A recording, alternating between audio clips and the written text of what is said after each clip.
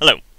What I'm going to do in this tutorial is something it's a little bit different to normal because I have a pre-made uh, tutorial here because I'm going to demonstrate how to create essentially how I've well how I've created a battle scene in the mod Project Brazil that is uh, in development at the moment.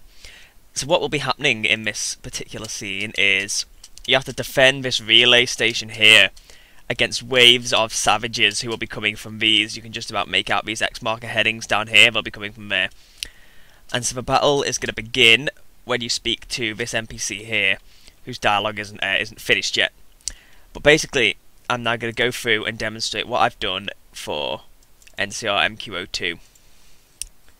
So I've done this here. the first thing that happens is this relay battle raging is a global variable.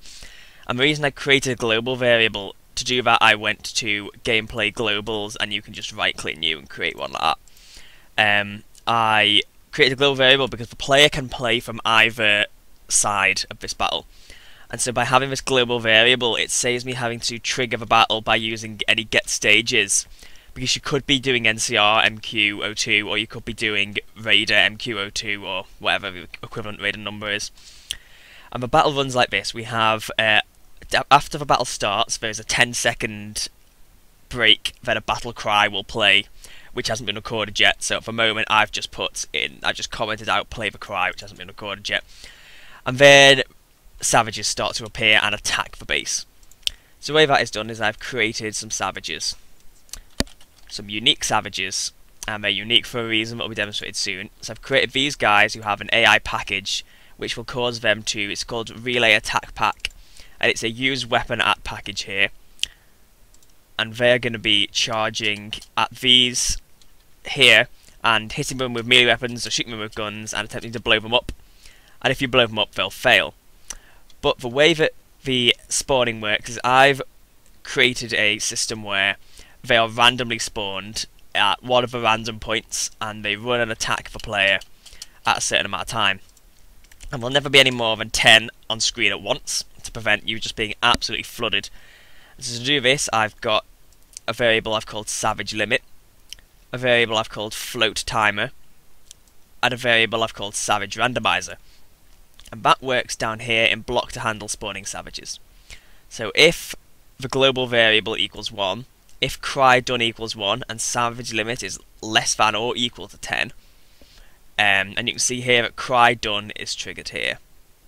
Uh, but this is a very specific example. I'm just going to show you a generic example if you ever wanted to create like essentially a, a, a wave based attack thing. So it works like this. We have a variable here called relay timer which is below 10 set to be below 10 uh, and if it is below 10 it will be set to relay timer set relay spawn timer to relay spawn timer plus 5. And now the reason I've done plus 5 is because I'm using the default script processing delay which is 5 seconds. And lower down I use the get seconds past variable, the uh, get seconds past command. And the get seconds past command, if it's used twice in the same frame, it'll return the same value as I've written here. And because this value will be called every 5 seconds, I've just done a plus 5, and this doesn't need to be as precise as what I've used below, as I've explained in this comment here and so eventually it will get to higher than 10. And so once it's higher than 10, it will check if Savage Randomizer equals 0. And if it does, which it will do the first time it runs, Savage Randomizer will be set to get random percent. And this will decide which type of Savage spawns. I mean, at the moment, they all look exactly the same, but that will be changed later on. Uh, they're wearing the default Project Brazil underwear, default faces. The only difference is they'll carry different weapons, but that will be changed later on. And so, if Savage Randomizer doesn't equal zero because we need to make sure that it isn't, you know, we need to differentiate between this stage and this stage, and it's less than 25. So basically, if it equals 1 to 24, PB relay attack marker dot place at me, PB relay savager 1, and those markers are the markers that I pointed to over here. So this one is PB relay attack marker 3, PB2, where's PB1? PB1, the PB relay attack marker 1 is the one that they will be coming from here.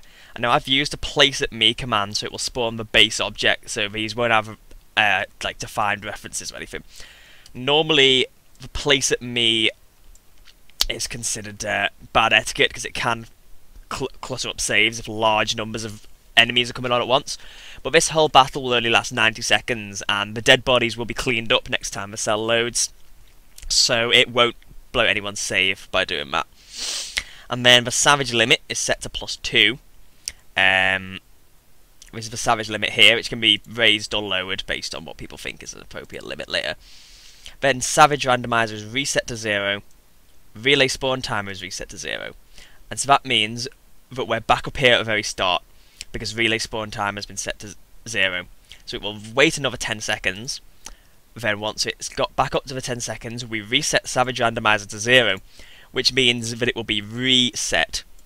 So now it can choose from any one of these. It can be between 25 and 50, between 50 and 75, or between either only written greater than or equal to 75, because it will only go to 100, because it's get random percent. You get random out of 100.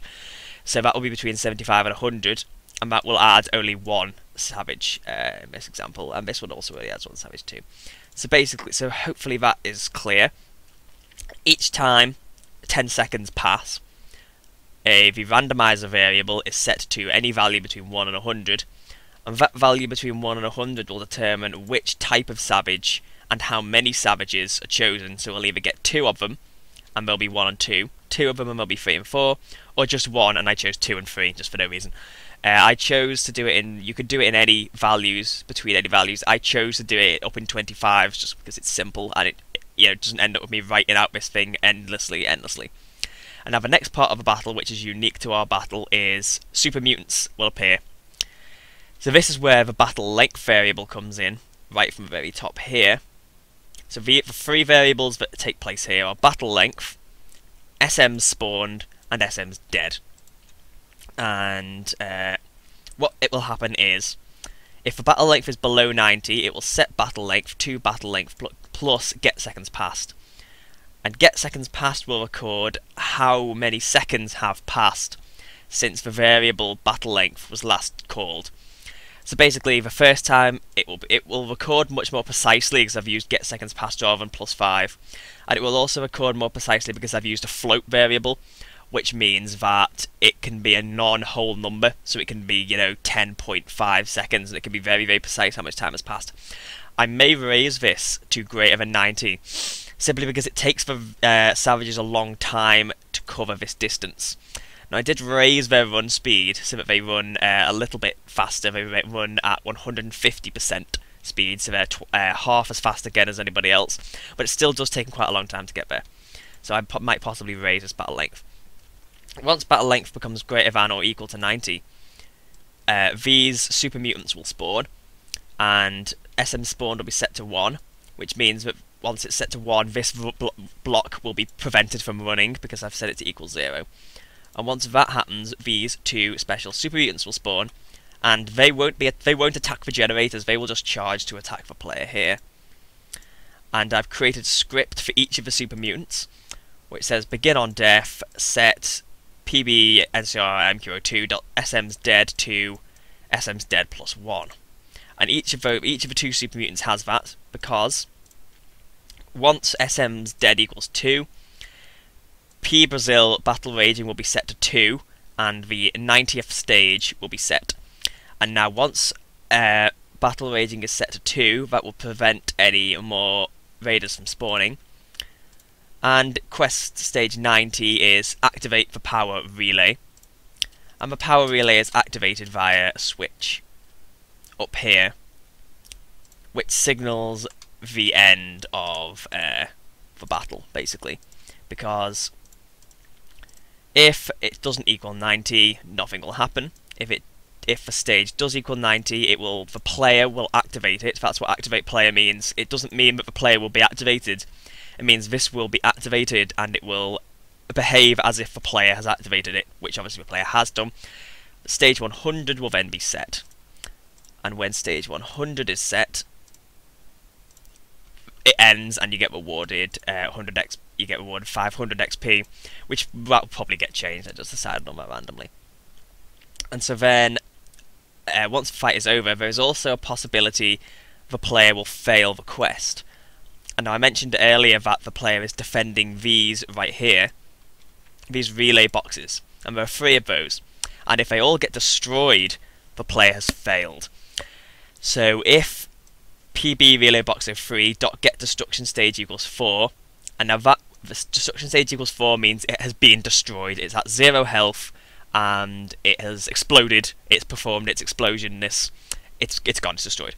And so once all three of those are destroyed, it will simply set stage 200, and the player will fail the quest. And also I should probably uh, set P Brazil relay battle raging to 2, just to prevent any more um, raiders from spawning. I've made a mistake. I've obviously uh, I've written really battle raging instead of relay battle raging. There you go. So that was an example of some of my work in Project Brazil and how you can create your own wave-based battle. I'll briefly run through it once more. Um, I've created a series of variables. You can ignore these battle cry stage because um, that is unique to Project Brazil, really. Uh, but if you wanted to just have a generic battle, I've created a limit here so that no many than 10 can spawn. There's the relay spawn timer, the randomizer, and also I should note that um, all of the savages, the reason I created unique savages instead of using any generic ones, is because they have their own script, which is begin on death, set uh, request dot savage limit to savage limit minus one. So basically, whenever they die, the savage limit is reduced, so and it will allow new uh, savages to spawn.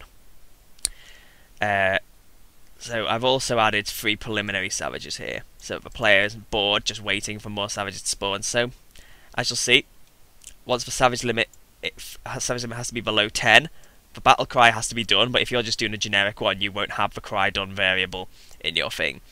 And I've created the global variable, so whatever your conditions are for the start of a battle will go here which and these are my conditions for the start of a battle. And you have your spawn timer, which is however long you'll change that value to however long you want to wait in between them spawning. And once it's your spawn timer has reached its value, create your randomizer, set it to get random percent, create your conditions, your difference values. So if it's if it doesn't equal 0 and it's below 25, i.e. its value is 124, this happens.